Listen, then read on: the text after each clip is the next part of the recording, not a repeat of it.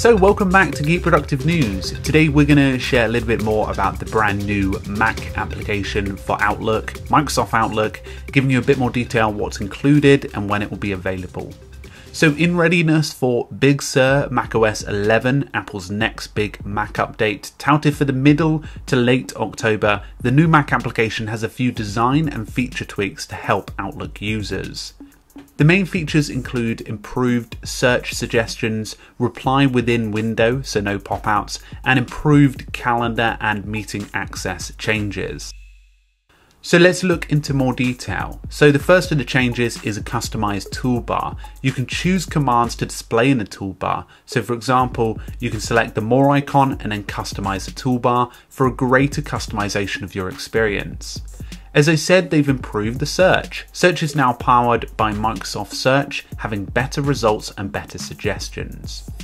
There is a new My Day view, allowing you to see upcoming events in Agenda or Day view in the main window for Mail. So you can select My Day and you can turn it off and on. So the next feature, there is an improved RSVP for meetings. So you can respond to meeting invites directly from the reading pane, which makes it easier to accept, put tentative, decline, or propose a new time.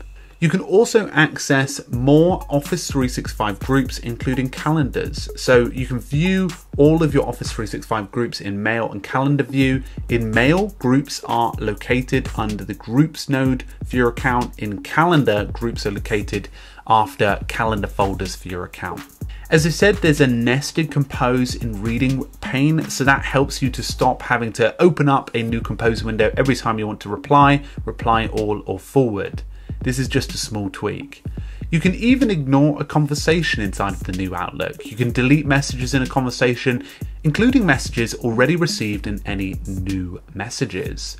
And improved event scheduling. You can create events much better inside of the new Mac application, including changing the attendees, the location, and viewing the attendee availability, as well as a host more features.